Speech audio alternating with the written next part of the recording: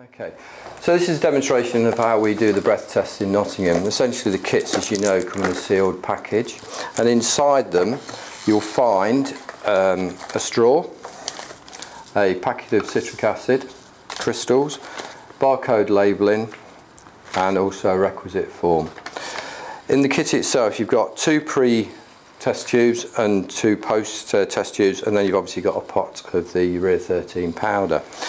Now the first thing to do is obviously explain the procedure to the patient, so we'll assume that's taken place and also we've consented the patient. First thing we need to do is do a breath test. So how I do it is we have a dummy kit that we use and then obviously we've got the patient's own kit, fresh kit. So we ask the patient to take the two tubes out and basically follow on what we do. So if you just take the tops off and if you take the straw, place the straw in the tube and then actually put it in your mouth and grip it between your teeth just gently and then just blow. Blow the tube away, place the, place the stopper in. Then we do exactly the same with the other. Okay. Blow the tube. Now the main thing to make sure you do is to get the uh, tube to actually steam up this. This shows you've got sufficient breath in it. Okay, next thing to do is to prepare the uh, citric acid.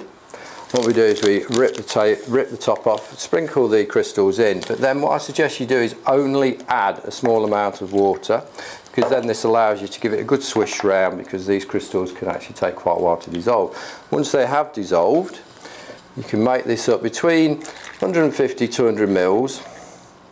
And at this point you ask the patient to drink it down. They don't have to drink it down all at once um, but we do like them to drink it down you know fairly rapidly. So if you like to drink that down. And while the patient's doing that you can start preparing the actual urea 13 now there's only a very small amount of uh, urea 13 in here so to make sure that um, it's not trapped around the lid, we just ask you to tap it down. Be very careful at this point because uh, you only need a small amount of fluid in here. If you try and overfill it, I guarantee it will overspill. Pop the lid back on, give it a shake round. You could use the same glass if it's available. Pour it in and make this up to about 20 mils, 20, 30 mils. Okay. You then ask the patient to drink that down. And it's at this point the 30 minutes start.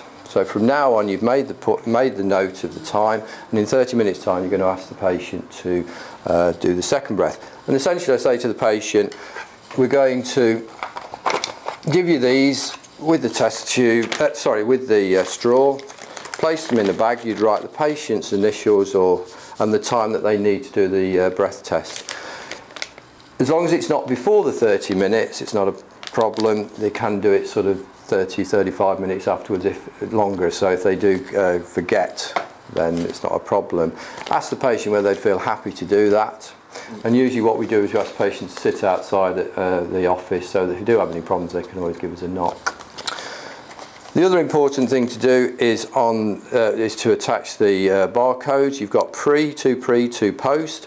Basically peel them off put them on the appropriate tubes, making sure that the barcode is that way around as opposed to just get the other one as opposed to inadvertently putting them on that way because you won't get a clear flat barcode. So the barcode reading won't work as well. And the other thing is the requisite form where basically you've got the date uh, that the test was done, the patient's initials and all the identifying number, so the trial number. And also there's an additional barcode here, oops, barcode here, which corresponds with the ones that we've put on the tubes and that sticks on there so that when it gets to the labs it can be scanned. Obviously the other important thing to do is put the date of birth and the gender of the patient. Just make sure this is filled out very clearly because they'll only put what they think is on the form and then the next thing to do is obviously uh, sign and date it and a contact number so that if there is any problems with the labs they can contact you direct and print your name. All that will then go together and be sent uh, via the procedure uh, set out in the manual. If you've got any questions about this, just feel free to give me a ring the numbers in the file. Hope this is of some help to you. Thank you.